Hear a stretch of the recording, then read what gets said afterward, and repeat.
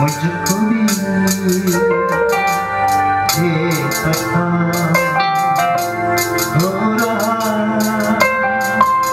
है जुदा दोनों का आसता